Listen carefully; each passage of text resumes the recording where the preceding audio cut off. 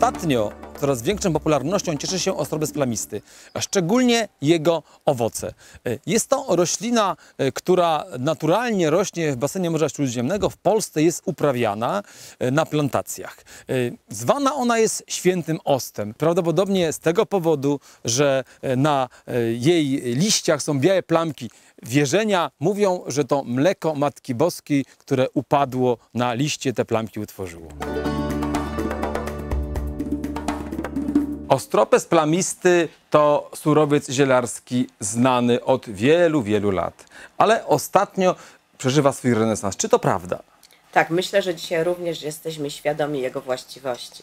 Ostropez jest podobny do rosnącego u nas ostu, jednak w naszym klimacie, w naturalnych k- k- warunkach ż- raczej go rzadko spotykamy. Dlatego jest uprawiany i zbierany w sierpniu i we wrześniu. Dojrzałe koszyki suszymy w miejscu przewiernym, zacienionym, następnie mucimy, odwiewamy, a tak pozyskane ziarno zawiera około 2% silimaryny, która jest główną substancją czynną tego ziela. No właśnie, silimaryna to to, co głównie służy dobrze w przypadku ostropestu. Ostropest e, powinien, preparat z ostropestem powinien mieć deklarowaną na opakowaniu zawartość silimaryny, bo to jest coś, co działa prozdrowotnie. E, czy e, spotykamy w sklepach zielarskich ostropest? W jakiej formie go spotykamy?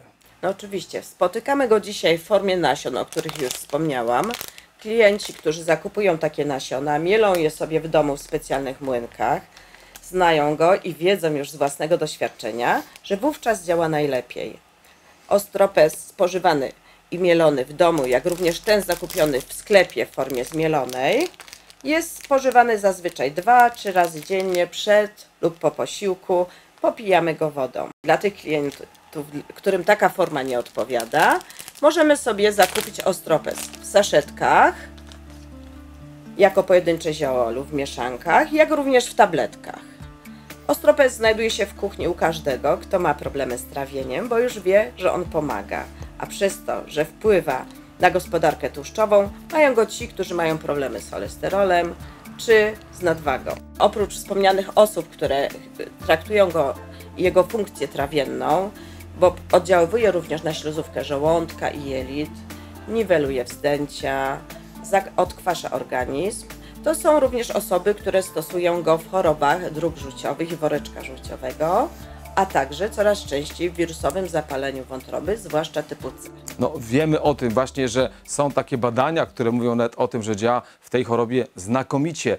Y, Czy ten kierunek trawienny, czy to jest najczęstsza forma, y, najczęstszy kierunek, gdzie działa ostropest? Czy są też inne jednostki chorobowe, które dobrze sprawdzają się w przypadku ostropestu? Oczywiście tak. Dzisiaj już w chorobach nowotworowych stosujemy go dość często i lekarze wyrażają zgodę w czasie chemio i radioterapii, żeby klienci je zażywali.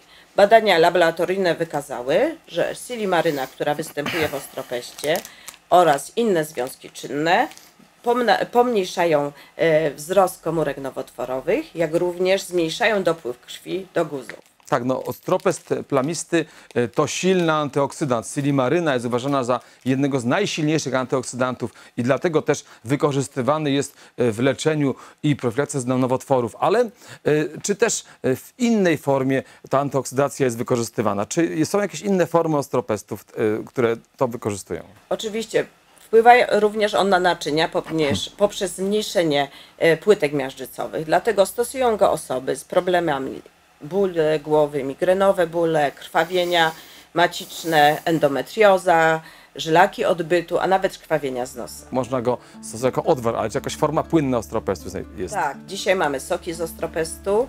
Ostropes również znajduje się w miodzie. W tym roku pierwszy raz pojawił się na rynku. Jak tłoczone, tłoczony olej z ziaren ostropestu, który zawiera nienasycone kwasy tłuszczowe, zwłaszcza linolenowy, podobno około 50%. Wpływa bardzo dobrze na skórę. Stosujemy go w problemach z łuszczycą.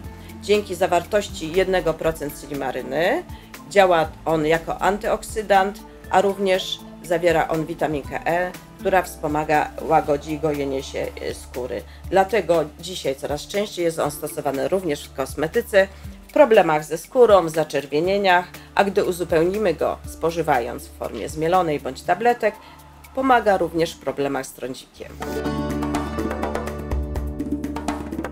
Ostropest plamisty, który Państwo widzieliście w sklepie zielarskim, ma taką postać ziarenek. To są bardzo twarde struktury, nie da się tego pogryźć, więc dlatego warto jest taki ostropest zmielić sobie w młynku do kawy. Taki tradycyjny, stary młynek do kawy. Wtedy ma on postać takiego oto proszku. Ten proszek możemy e, spożywać, popijając go obficie wodą. Pamiętajcie Państwo, taka ilość najlepsza no to jest około 10 gramów, 2% silimaryny. Ale możemy taki ostropest również e, potraktować w następujący sposób, że dajemy go sobie, e, robimy gotujemy wodę i do tej gotującej się wody wsypujemy taki oto proszek, który Państwo widzicie obok. Tak sugerował spoży- spożywać ostropest profesor Ożarowski. Utwierdził, że przyswaja, przyswajalność tego produktu jest lepsza, więc możemy taki oto proszek wsypać tutaj do wody i e, po chwili uzyskujemy spiętrzenie się tej substancji. Ale pamiętajcie Państwo, najważniejsze jest to, aby to był produkt standaryzowany, aby e, było tam to, co jest najważniejsze, czyli stylimaryna. I ta stylimaryna na przykład jest obecna w tych kapsułkach. Tutaj są dwa ekstrakty, ekstrakt z ostropestu plamistego i ekstrakt z karczocha. One są standaryzowane na zawartość czynnych, czyli wiemy, ile tam jest stylimaryny. E, To jest akurat preparat, e, który znakomicie się nadaje do e, leczenia chorób wątroby, e, wspomaga obniżenie poziomu cholesterolu w przypadku e, potrzeby takowego obniżania. Jest bardzo dobrym produktem, e, kiedy, który się stosuje u osób, które muszą brać statyny, te osoby, które są do tego zmuszone. Także e, pamiętajcie Państwo o tym, e, aby e, stosować produkty standaryzowane, aby to było naturalne, ale też żeby w tym była silimaryna. Głównym kierunkiem działania ostropestu plamistego jest wątroba. Y, Dlaczego? Dlatego, że ostropest powoduje, hamuje uszkodzenia toksyczne tej wątroby. Y, Wątroba y, ma komórki wątrobowe mają błonę, mają błonę komórkową i ta błona komórkowa jest uszczelniana przez ostropest. Sprawia to, że toksyny nie wnikają.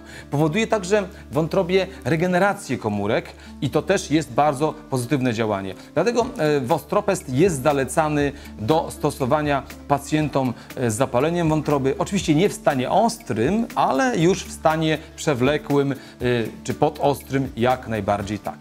Drugi kierunek działania ostropestu, też podobny, bo też oparciu o wątrobę, to poprawa trawienia. Poprawa trawienia w przypadku ostropestu e, odbywa się dlatego, że e, mamy do czynienia w przypadku ostropestu działaniem żółciopędnym, żółciopędnym, żółciotwórczym, czyli on zwiększa wydzielanie żółci i przyspiesza jej wydalanie do jelita. E, Więc to jakby drugi, drugi aspekt działania ostropestu. Trzecim działaniem ostropestu to jest działanie na układ krążenia. Ostropest plamisty e, zmniejsza syntezę cholesterolu, przez to wpływa pozytywnie na jego poziom, zmniejsza poziom cholesterolu, czyli ma zastosowanie e, w leczeniu miażdżycy albo i w suplementacji miażdżycy. Poza tym, że działa pozytywnie na, e, na, na poziom cholesterolu, działa także przeciwzapalnie i antyoksydacyjnie. To są również mechanizmy, które sprawiają, iż e, działa, hamuje on rozwój e, miażdżycy. I ostatnim takim elementem, który warto wspomnieć w przypadku ostropestu, to działanie przeciwnowotworowe. W jaki sposób? On zapobiega powstawaniu nowotworów dlatego, że e, działa antyoksydacyjnie, czyli zmiata wolne rodniki, które powszechnie uważane są za e, czynniki sprzyjające rozwojowi nowotworów. E, Ponadto y, trzeba pamiętać, że w terapii y, chorób nowotworowych warto stosować środki o działaniu odtruwającym, ochraniającym wątrobę. No i tu ostropest jest idealnym suplementem diety, idealnym surowcem zielarskim do właśnie takich działań. Zielarstwie jest tak, że powinno się łączyć ze sobą surowce. E, I teraz z czym łączyć ostropest, aby uzyskać najlepsze efekty? Możemy go łączyć e, w przypadku chorób e, układu pokarmowego, wątroby e, z mniszkiem, korzeniem i zielem mniszka, bo tenże także poprawia trawienie, zwiększa wydzielanie żółci i, wytwarzanie żółci. Jeżeli chcemy stosować ostropest w przypadku chorób układu krążenia, wtedy należy go połączyć z karczochem, dlatego że ekstrakt z liścia karczocha obniża poziom cholesterolu, a to jest podstawowe działanie w przypadku miażdżycy.